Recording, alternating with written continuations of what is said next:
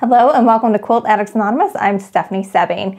Today is a Stashing with Stephanie Day where we create a new fat quarter friendly pattern that you can use with our Stash Club, Stashing with Stephanie, or just to bust your own stash at home or both. You know, lots of us have like getting new things, but we also have a lot of old things. So you can do this with a mix of things, especially today um, because we are using Kaffe Fassett. So I know that a lot of people who really like Kaffe Fassett tend to collect Kaffe Fassett and this one is coming in multiple sizes. So you, if you're a member of the club, then you got 12 and you can always easily add to some cake that you have in your stash to make it bigger. And this one is a very easy very fast quilt to do. We're doing it Bargello style, so we're going to be making some fabric tubes and cutting them apart. And it also uses really large piecing. We did this a couple months ago when we did frequency. You guys loved it. And in that case, we had really small strips that we were cutting apart. These end up being about the same size quilt with half the fabric because the pieces are so large, so we're not losing a lot to those seam allowances. But with Kaffe, you know, you want it to use as much of the big print as possible because you want to show off the print and the color. So a little bit about Stashing with Stephanie before we get started. If you have not joined the club, you are really missing out. Here's what you get. You get 12 fat quarters for the price of 10. That's $29.99 each month plus shipping. And we send you a $10 coupon to use off a $20 purchase. So if you want to get additional coordinating fabric, you can. Um, this month, it's a lot of Kaffe pre-cuts, and it also is available in our Kaffe kits. Um, that the Rainbow Stash ones that are traveling the country. So that's exciting. And also, we give you a free pattern. And when you join, we get send you a coupon code, usually within the first 24 hours of joining, where you can download all of the stash and patterns we've released to date for free. I think this is the 14th pattern that we are doing. So it's a huge deal. You get a big value right up front just when you join, and you get lots of really fun inspiration to bust that stash. Let's get started. So this month's stashing fabric is the Kaffe Spring 2019, and I know that that's misleading because it's fall, but this was the latest collection to come out. There were 68 some fabrics, I think, in the collection because it's three guys who created as part of the Kaffe Fassett Collective. There's Kaffe, Brandon, and Mably, and Phil Jacobs, and they all come up with these really cool designs. I love these little geode ones. They're just so pretty and they work really well on a big scale. So we are going to be using them large. So the very first thing we have to do is arrange this in rainbow color order. That's red, orange, yellow, green, blue, purple, and then I usually put my blacks on the end, which you can see here. And if you are a member of Stash with Stephanie, you already got this in rainbow color order. We already sent it off to you that way. Um, and a lot of times designers, when it comes pre-packaged, if you buy like a fat quarter bundle in the store, it's already arranged in a really pleasing manner. So sometimes you can just stick with that. But if you are pulling from your stash, keep that in mind, red, orange, yellow, green, blue, purple. And then in this pattern, it helps to have a really light one at the very end after the black, because that kind of is gonna separate the rainbow because we're gonna actually end up having this look like a rainbow in the end, which is really cool. Now, the important part is to have that red or pink in this case be at the top because that is going to be the top of our rainbow. So we wanna have that in our fabric number one position. Um, and then just work your way down from there depending on how your rainbow works out. All right, so now what I'm gonna do is I'm gonna start sewing these together into strips um, sets. And depending on what size quilt you're doing will depend on how many need to go in here. But essentially, we're going to be sewing the tubes in halves. So in this case, I'm going to be sewing six strips for one half of my tube and six strips for the other half of my tube. And by the way, if you want all the cutting instructions to go with this and how many fat quarters and what sizes to cut everything, you can get that. It is called Rainbow Bargello or Modern Rainbow Bargello. And you can get that and lots of other Kaffe fabric and supplies over at shop.quiltaddictsanonymous.com. All right, so I've got my first two pieces here and I'm just gonna lay them with one and two. And I'm just gonna start sewing these guys right sides together and just keeping one going to the left here and just adding new to the side. One tip when you're doing this, it is really, really helpful to start with your selvages and line those up because then when we go to put the tube together, it's gonna be a lot easier to get everything together. All right, so I've got those selvages nice and lined up and I'm just going to sew with a quarter inch seam to sew the strips together.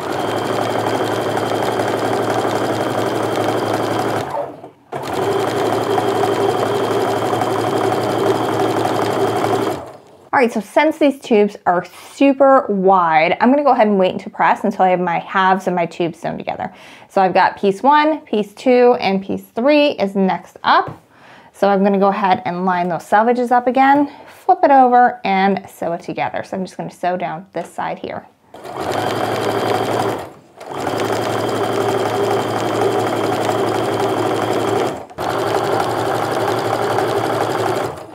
All right, so I'm just gonna keep on going down the row, adding and arranging my selvages up top to try to keep those as even as possible until I have half of my tubes sewn together.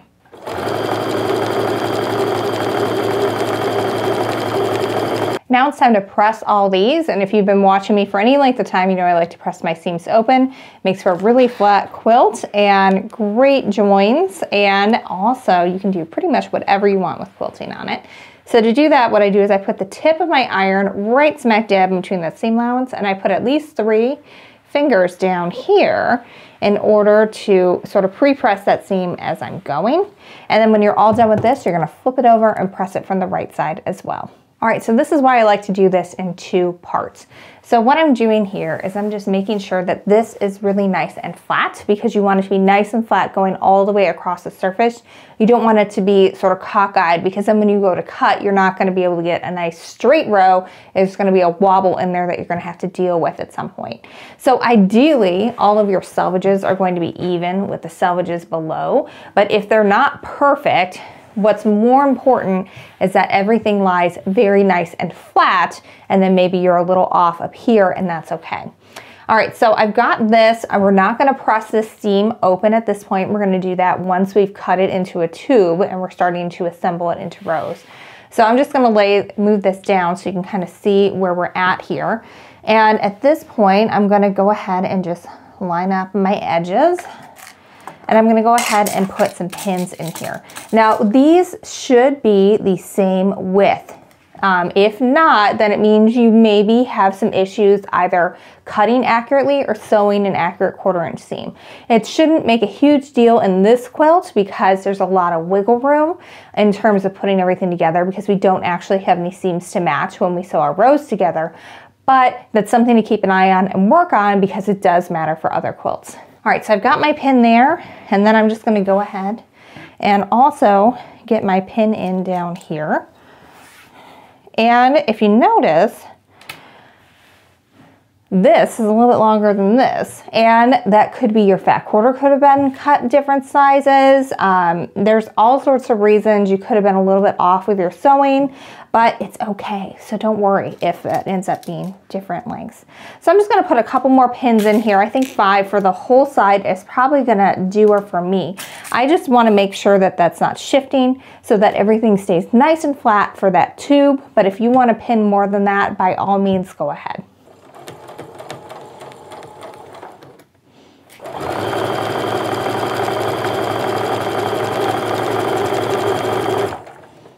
Right, so for this next part, I'm gonna show you how to do the first overcut because it'll show you how to line everything up.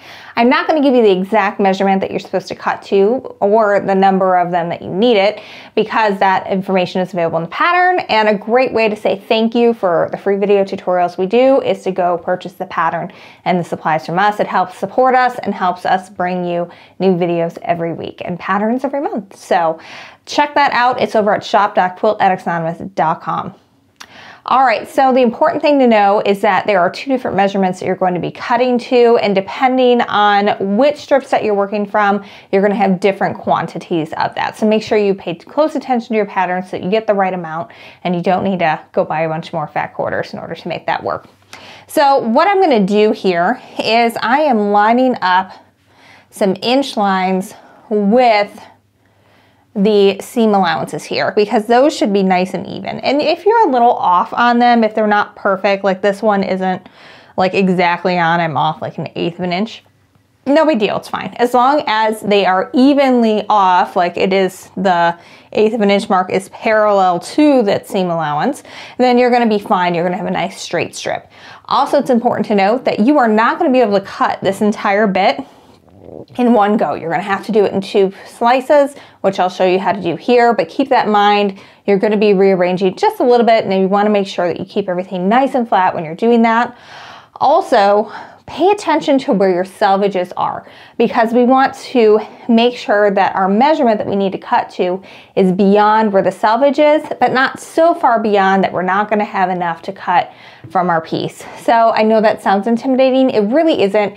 Just give yourself like maybe a quarter of an inch past the selvage and then you'll be able to get everything in there. All right, so once I've made sure that I've got my lines all lined up along those seam allowances, and I know that I'm cutting past the measurement that I need to cut to for this first part, then I can go ahead and just cut like I normally would. Just going as far as I can with my regular ruler. All right, so now I'm gonna kind of pull that up and to the side, and then just real gently pull everything to me Now I'm gonna line everything up again. And again, I am lining up that inch mark right on that seam allowance and making sure I'm nice and parallel going up from there. And that I'm also nice and even with the line that I already cut. And then I'll be able to cut a nice straight strip all the way down.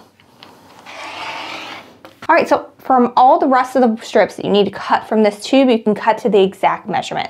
So you can line it up with the, the ruler with the parallel line that is going, you can line up your inch line just right even with the seam allowance and then you can line up the edge with whatever the measurement is that you need to cut to on here. So you want to pay attention to those two areas, the distance, the width you're supposed to cut your strip to, and then also make sure your inch mark is nice and even with that seam allowance so you get a nice straight square cut.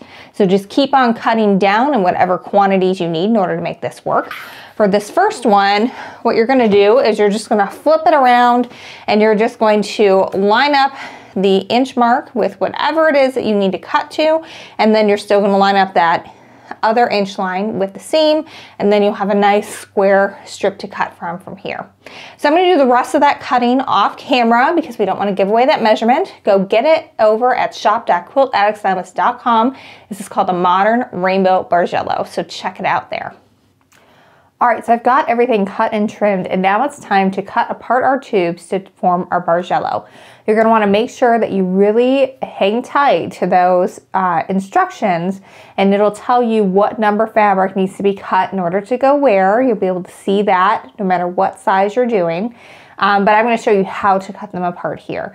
There's a couple of tools that make this really useful. A good, nice, sharp pair of scissors and a seam roller can help you from having to go back and forth to the iron constantly. So we didn't press this top seam here. We're gonna need to do that in order to get this piece in here. I'm kind of starting from the center and working my way out um, in this video because I've already done a good chunk of the quilt. I usually do a little, well, as much as I can really before I film. That way I know you know, where the trouble points are gonna be and what I need to pay attention to and call out for you guys. So what you can do with the seam roller is you could just take it to the iron and press it, or you can take your seam roller and you can just roll over the top of that and that makes that seam nice and flat and you'll be able to sew that together and then use that as well as you're working on it. I'm gonna do that for both of my seams uh, that were on the edge that we did not press open. I don't know about you guys, but I don't have a design wall or space for it in my sewing room. And so what I typically do is I'm laying quilts out on my bed and this way I was able to just bring this into the bedroom and I would just iron my seam flat on my dresser top. Um, and then I didn't have to keep going back and forth. I could just get it all together, pin it, and have everything laid out and ready to go. So that worked really well for me. All right, so for this one, I've got my one fabric. Everything is going the wrong side up here. at this point. So here's my one fabric and here's my 12 fabric because I'm doing the version that has 12 fabrics in it. So what I wanna do is I need to trim this larger, wider one in half. So what I need to do is line up to make sure that these seams are right on top of each other on both sides. You can pin if that makes you feel more comfortable or you can kind of just eyeball it and go from there, which is what I'm gonna do here. All right, I've got those lined up here. So now what I'm gonna do is I'm gonna kind of holding those in place, I'm kind of finger pressing first, and then you can either hit this with the iron or again, your seam roller is a real nice one to do this with. And what this is gonna do is it gives you a fold line exactly halfway in between so you can cut on this line and that way you don't have to measure it out and do it like perfectly with your rotary cutter, although you could if you wanted. But this way I know that I'm exactly halfway and then I'm gonna use my scissors to just cut across that top.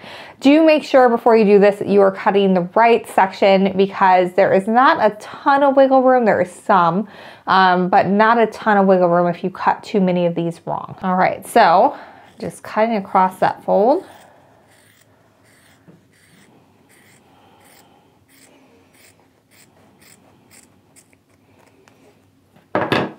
And now I've got half of my 12 piece and my entire one piece up top and that is going to be just to the right of my center um, for that.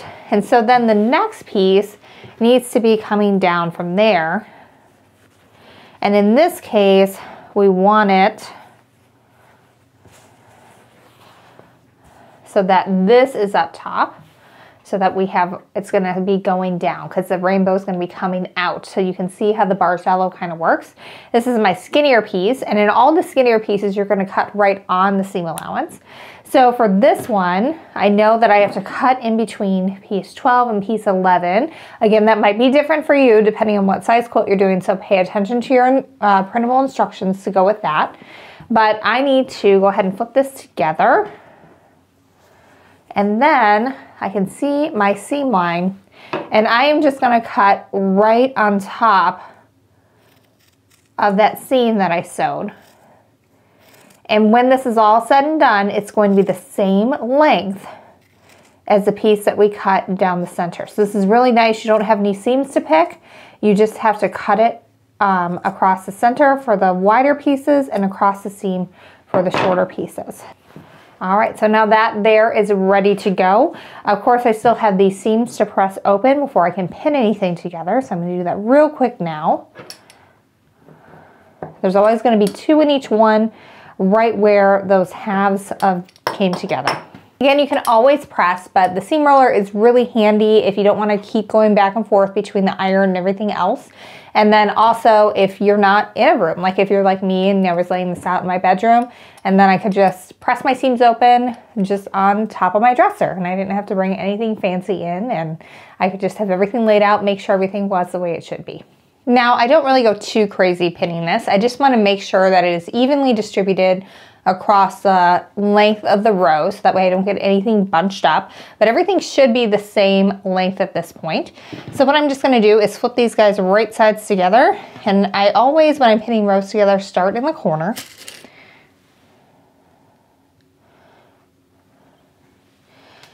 And then I try to find the halfway point. So one, two, three, four, five, and six. So keeping everything nice and flat on my table. I want to make sure that this is about halfway in between this block, and it is. So I'm gonna go ahead and get my pieces lined up, and as long as this seems straight, it, it likely is going to be. Um, you probably won't have to ease in too much crazy stuff. This is just to kind of keep it nice as you're working on it. All right, so now what I'm gonna do is I'm gonna go about halfway in between. And again, there are no seams to match because we've got our seams here and then they're equidistant from the seams of the other ones, which is really nice because at this point you can kind of just make sure that everything is good to go. And then I'm gonna go about halfway in between again on both sides. And then repeat this all on your other half and then we're ready to sew. So still using that quarter inch seam, I'm just gonna go ahead and sew down that piece. And one thing you might want to do is just kind of give it a lift as your pieces go over the area where your bobbin is because sometimes those seams can get flipped going the other way. And so if you just take a second and once that has passed over, like it has here, and just give it a lift, then everything usually lays nice and flat and you don't flip anything the wrong direction.